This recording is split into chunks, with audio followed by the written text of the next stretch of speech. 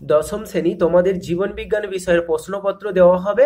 এটা তোমাদের second summative evaluation ক বিভাগে দেখো, এখানে বলেছে যেটা এমসিকিউ অর্থাৎ সঠিক উত্তর তোমাদেরকে বেছে নিয়ে সম্পূর্ণ বাক্যে লিখতে হবে। তো এই এমসিকিউ গুলোর উত্তর তোমরা খুব সহজে পেয়ে যাবে যদি তোমরা একটু ভালো করে টেক্সট বুক পড়ো। তোমাদের সেকেন্ড সামেটিভ ইভ্যালুয়েশন যেসব অধ্যায়গুলো হবে, ওই অধ্যায়গুলো প্রথমেই তোমরা টেক্সট বুক ভালো করে পড়ো।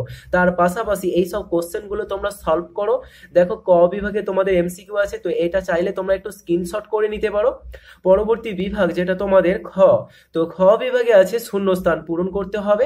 এছাড়া এখানে দেখো, কিছু এক কথায় উত্তর দিতে হবে এবং সত্য মিথ্যা কিছু কোশ্চেন আছে। এবং এই বিভাগেই তোমাদের পরবর্তী পেজে আছে বাম দিক এবং ডান দিক মেলাতে হবে। এবং এই ধরনের কোশ্চেনই কিন্তু তোমাদের পরীক্ষাতে থাকবে। দেখো, পরের পেজ তোমরা স্ক্রিনশট করে নেবে অবশ্যই। বাম দিকের সাথে ডান দিক মেলাতে হবে। এবার তোমরা দেখতে পাচ্ছ, নিচে বিভাগ গ।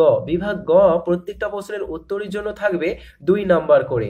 দেখো, এখানে ইতর পরাগযোগের বৈশিষ্ট্য জেনেটিক কাউন্সিল কাকে বলে শিল্পাঞ্জির দুটি আচরণগত বৈশিষ্ট্য। এই কোশ্চেনগুলো খুবই গুরুত্বপূর্ণ।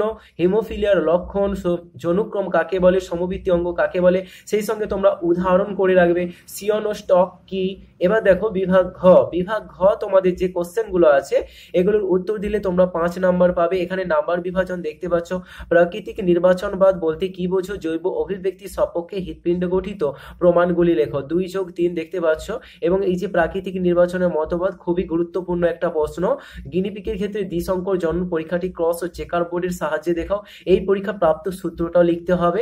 তারপর দেখো বৃদ্ধি দশাগুলি লিখতে হবে। সপুষ্প উদ্ভিদের ক্ষেত্রে নিষেক ও জায়গট ভ্রূণ গঠনে বুঝি, গঠন বুঝিয়ে দাও। অথবা দিয়ে বলেছে, যৌন অযৌন জন্মের মধ্যে পার্থক্য অনুবিস্তারণ কাকে বলে? এর গুরুত্ব লেখো। তো এই হচ্ছে তোমাদের সেকেন্ড সামেটিভ ইভ্যালুয়েশনের একটি কোশ্চেন পেপার জীবন বিজ্ঞান বিষয়ের পাশাপাশি অন্যান্য বিষয়ের কোশ্চেন পেপারগুলো চাইলে দেখে নিতে পারো ভিডিও ডেসক্রিপশনে পেয়ে যাবে।